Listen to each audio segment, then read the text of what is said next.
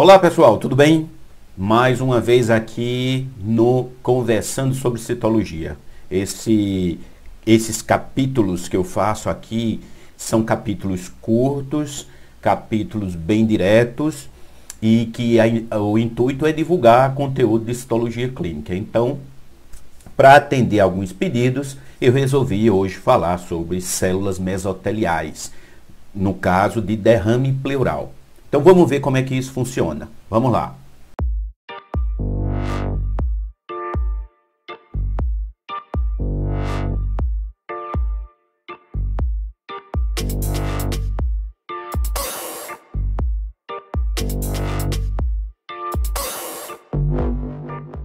Bom, falando sobre células mesoteliais né, de líquido pleural, a gente sabe que, na realidade, nós temos outros órgãos que são envolvidos por membranas. Né?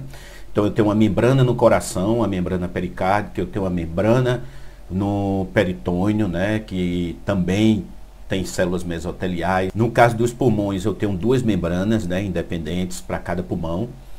Ah, tem a, a questão dos testículos também. Então todas essas cavidades né, que é, acumulam, podem acumular líquidos, a gente chama ela de é, mesotélio. Mesotélio é um tipo de epitélio específico dessa área. Geralmente é, você vai encontrar uma camada só, quando a gente está falando de material normal, e que essas células estão aderidas a uma camada de, de tecido conjuntivo. Tá? Então, esse tecido conjuntivo serve de apoio para essas células, ela forma uma camada e esse revestimento é todo de células mesoteliais. Logo, se você aprende a identificar o que são células mesoteliais, né, entender a morfologia dela, você consegue fazer leitura desses três, desses três materiais. Mas tem alguns detalhes que eu vou comentar com vocês. Então vamos lá. É, o, que é, o que são, né, melhor dizendo, essas células mesoteliais? Veja, eu tenho uma célula que geralmente ela é redonda, ela tem uma área mais externa que a gente chama de ectoplasma e uma parte mais interna chamada de endoplasma. A diferença é que um é mais denso ou mais escuro que o outro. Você vê aqui na foto abaixo.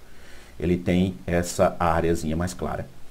Tem um nucleolo, que geralmente ele é excêntrico, ele não fica no centro, né? Pode ser que você veja alguma no centro, mas geralmente ele está excêntrico. E um nucleolo bem evidente, bem visto. Ok? Só que tem um probleminha, gente. Vamos fazer, a gente viu aqui com a coloração Papa Nicolau. Se a gente vê agora com uma coloração panótica, o que, é que a gente vai observar em relação ecto né, e endoplasma? Não vai ver muita coisa diferente, tá vendo? Então você tem que apelar para quê? Para o reconhecimento através dessa franjinha e através da posição do núcleo. É muito importante quando você vê material de, de, de líquido que você tem o histórico clínico do paciente, porque vocês vão ver, essas células elas são muito difíceis de você perceber se elas são neoplásicas ou reativas no início da, da lesão. Né? Por exemplo, qual é a lesão que tem no mesotélio? O mesotelioma. Então, quando a gente vem para cá, ó, eu tenho essa imagem aqui mostrando várias, vários linfócitos, né? Mas tenho aqui uma célula mesotelial. Então, aquela história. Na vida real, como é que é? Tá aqui, ó. Ok? E aí, olhando mais, ó, eu posso também ver agrupadas. Eu posso ver essas células aí, ó, juntas. Então, dá para ver um pouquinho ainda, em alguns casos, que você pode é, verificar ainda essa borda, né? Esse ectoplasma. Então, por isso que é bom em líquidos você fazer as duas colorações. A coloração é, Papa Nicolau e a não Papa Nicolau. De preferência, uma, o MGG. É muito bom, é uma coloração bonita, uma coloração boa de se trabalhar. Tá aqui os nucleolos, você vê muito bem, né? Vê muito bem. Os núcleos são grandes, aqui eu tenho um macrófago e aqui eu tenho um linfócito, um polimorfo e outro linfócito. Então, uma das coisas que a gente tem que ter muito cuidado é não confundir as células mesoteliais com macrófagos. Os macrófagos, às vezes, ele toma um formato que você fica ali um pouco em dúvida. Aqui eu estou vendo um agrupamento, você também pode observar esse tipo de formação, alguns vacúolos, microvacúolos, mas você reconhece que a célula tem um núcleo grande, excêntrico, né? e às vezes quase que colado na borda, que também não deixa de ser um sinalzinho que há algum tipo de reatividade na célula. Aqui, quando você tem duas células nesse tipo assim juntinhas, aquela borda se transforma nessa formação aqui, que a gente chama de é, janela, certo? Então essa janela, ela é um sinal também de que essas células estão ainda se mantendo dentro da benignidade, tá? Tem o macrófagos aqui, a foto não é muito, não tem muita definição, mas você vê o citoplasma esponjoso dos macrófagos, né? Algumas células inflamatórias por aqui. Então, muita atenção quando você analisar líquido pleural, que é a seguinte, você tem que saber bem reconhecer as células inflamatórias, você tem que conhecer bem macrófago e todas as formas né, que eles aparecem e reconhecer as células mesoteliais. Então é isso que você vai encontrar no líquido pleural. Fora disso daí, é, já existe agora outro, outro problema. Tá certo? Eu vou falar mais na frente. Aí, ó, veja só que imagem linda. Está mostrando que essas células mesoteliais elas são benignas, né? Mas, ó, você vê que a cromatina já está um pouco diferente, eu tenho binucleação, tenho núcleos mais aumentados, tem uma janela aqui meio estranha, né? Tenho vacúolos, tem algumas deformidades. Então, às vezes a gente se impressiona com esse formato das células mesoteliais e pode até liberar um laudo de malignidade. Mas tem muitos detalhes aqui, são muitos, que a gente tem que ficar de olho sobre a formação é, dessas células mesoteliais. Nessa outra imagem aqui, eu também tenho ah, uma célula aqui binucleada, tá vendo? Ó? Outra aqui também tem algumas células inflamatórias e aí eu vejo, inclusive, ó, ó os contornos. Não tá aquele negócio ah, que a gente poderia dizer assim, ah, isso aí de cara, né? Isso aí é benigno. Então a gente tem que estar tá atento com as diversas, digamos assim, é, é, formas que as células mesoteliais elas adquirem. Então, quando você tem a célula mesotelial normal, é aquela que eu falei no início. Mas quando você tem reatividade, daí para frente a coisa muda muito. E você só vai reconhecer, assim, com muita segurança, um mesotelioma de cara quando ele já está bem avançado. E aí você tem pleomorfismo nuclear evidente. Então aqui, ó, veja só, isso aqui é benigno e, tem, e quebra alguns paradigmas, né? como por exemplo, quando eu tenho material maligno, eu tenho alta celularidade com perda de coesão. Mas aqui eu tenho alta celularidade, tem algumas células soltas, ou seja, eu perdi coesão, mas é um material benigno. Eu consigo ver aqui, ó, sempre quando a gente olha agrupamentos, olha a bordazinha, ó.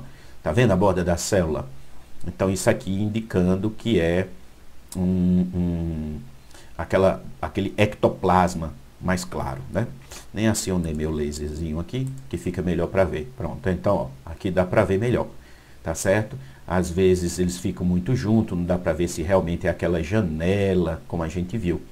Algumas outras células inflamatórias, hemácias, então, mu ah, muita atenção. Líquido pleural, procura célula mesotelial, procura as células inflamatórias, é o que você deve achar. Os macrófagos, né? Fora isso aí, então esse líquido já precisa ser investigado com outras hipóteses. Se for uma célula diferente, pensar em metástase, tá ok? Então, ó, às vezes também você pode ter agrupamentos. Esses agrupamentos, eles são é, interessantes porque ele confunde muito o citologista. A gente que está acostumado com citologia, por exemplo, cervical ou de qualquer outro tipo, quando vê esses agrupamentos tendendo a ser esféricos, digitiformes ou papiliformes, a gente pensa logo em quê? Em adenocarcinoma. Então, um dos maiores confounds, né, confundidores, né, é, digamos assim, falhas, melhor falando, eles são é, é, quando você tem uma lesão de adenocarcinoma. É muito difícil essa diferenciação por conta desse, desses formatos, né, desses agrupamentos que a gente vai observar em, em líquido pleural. Muita atenção sempre, independente do que você vai é, ainda observar depois. Mas se você verificar agrupamentos esféricos, e digitiformes, né? Pare, analise todo o material, olhe com bastante clareza e pegue os dados clínicos do paciente. Então, se você olhar aqui, ó, vou dar um exemplo, mesotelioma, um raio-x dele aqui mostrando. E aqui mostrando, por exemplo, um dos tipos ou uma das formas que o mesotelioma, né, que às vezes é chamado mesotelioma maligno, ele aparece. Então, ó, veja só, formações esféricas, alguns chamam de é, imórula, né? Aqui, ó, digitiforme. Então, toda vez que você observar isso, você vai respirar, vai olhar a lâmina de canto a canto, se tem mais de uma lâmina, 10, 15, esgote o material, olhe todo o material e veja, porque é, você, além de ver a formação, você tem que ver as células. Então você vai passar para uma objetiva de 40, né, para dar 400 vezes de aumento. E aí, ó, você vai olhar, tem pleomorfismo, tem hipercromasia, tem macronucléolos, tem é, as células estão muito coesas, as células que não estão coesas, né, que estão soltas, como é que elas estão? Existe uma população de células diferente? Então é isso que você tem que observar. Na maioria dos casos, é, derrame pleural, está, você busca uma metástase, né? É, é, algum outro tipo de tumor que apareceu ali e provocou isso. Salvo quando são casos realmente do tumor da pleura, que é o mesotelioma, que é muito ligado a quem é, tem muito contato com asbestos, que é aquele material utilizado para pastilha de freio, telha, caixa d'água, tal. Em alguns países é, é, proibido. Eu acho que aqui no Brasil é, não é proibido, né? Existem algumas restrições e algumas fábricas desses materiais que tentam usar o mínimo, mas ele está. Se você, se você procurar é, nos barracões de favela, por exemplo, se você procurar nas residências, nas caixas d'água, os telhados, você vai ver ainda muito material feito disso daí. Então, em calor, ele se dissipa e isso, sendo respirado, vai para lá para o pulmão e estimula esse tipo de lesão. Outra coisa é o tabagismo. Então, fumantes tem muito isso daí. Então, tem que ficar atento a esse tipo de coisa. Dê informação, né? Do histórico clínico do paciente. É muito importante você ter isso, idade, tem a parte é, costumes dele, o tipo do trabalho dele, se ele trabalhava com material que pudesse ser é, um causador disso, né? Então tem que ficar muito atento a esse tipo de coisa. Agora, sempre lembrar disso, gente, sempre, sempre. Outra população, como nessa foto aqui, eu preciso é, parar e analisar que é metástase. Então, você pode indicar que é metástase, você pode indicar que é maligno, porque você inclusive vê uma diferença muito boa aqui, ó. Eu tenho célula mesotelial aqui, duas, né? A janelinha e tal. E aqui ah, dois agrupamentos que você pode olhar assim, poxa, tá tão parecido, será que não é, né? Então você tem que analisar essas células se elas são realmente mesoteliais. E tendo essas daqui, então você não tem muita alternativa em indicar que é maligno ou que já é uma metástase.